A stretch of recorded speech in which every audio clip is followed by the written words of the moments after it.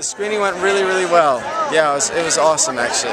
Um, packed and, and people seemed to really understand what we were trying to do and we got, got great questions in the Q&A. So it's a great experience. And what do you think about our little venue here in Mendocino? Uh, I wouldn't call it little. I think it's really it's um, it's a, it's a really high caliber festival. I think that there's uh, great audiences and uh, the facilities work really well. The projection was awesome. I mean, much better here than in a lot of places I've been. So uh, yeah, I think it's great. I feel lucky to be here. Okay, well, thank you very much. Awesome. Thank you.